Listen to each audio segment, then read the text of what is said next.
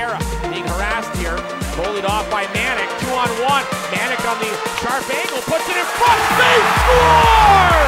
Robbie from Delore. A WHL first. Rebound for Rob Delorme.